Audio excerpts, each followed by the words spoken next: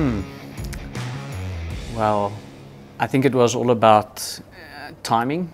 So I think I got to the point in my career where I felt I'd achieved what I wanted to at my previous employment, my previous job.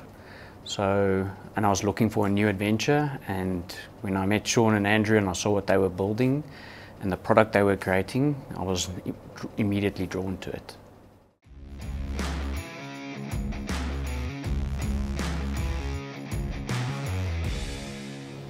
I think it gives you a, a, a, it definitely gives you a much better advantage than the traditional salesperson or account manager.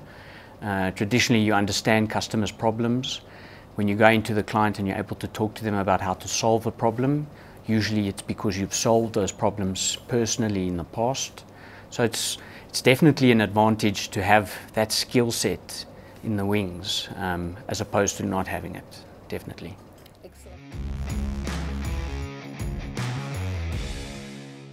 So my, I would say to have OQLIS, let's say being used across the world in 10,000 different large organizations or any organizations for that matter.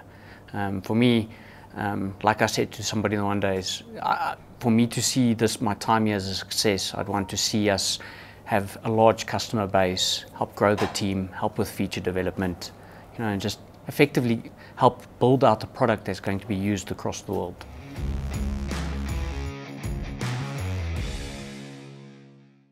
Make sure you, you bring in the right people, that you allocate, for example, we had a lot of front-end dev, bring in the best front-end developer you've got. You know, don't try and take one of your back-end devs who's got a bit of front-end dev experience and could do, could do it, but isn't the best at it. Yeah, so right person for the right job.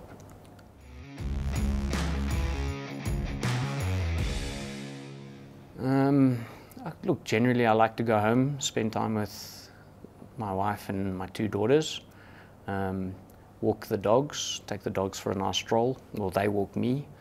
Um, I, I like to be outside, play games with the kids, stuff like that.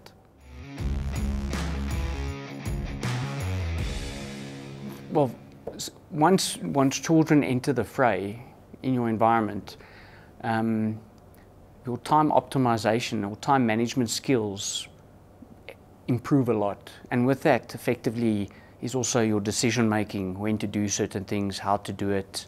So I think I've definitely learned to be more focused um, with the kids, and at the same time, the kids have taught me to be more focused in other areas without me actually acknowledging it or, or, or noticing it, if that makes sense.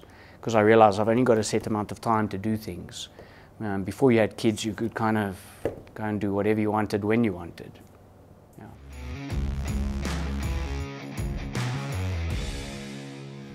I was going to say the first thing that came to mind was a turtle. Oh, okay. Yeah. Why? I don't know. It's just because I found a turtle once and it was pretty cool. He was in our garden, in our driveway, and we put him in a bucket. It was cool. And then we went and released him back down at the dam. So I've always liked a turtle. Yeah, I think a turtle. I go with turtle. Okay. That's a wrap.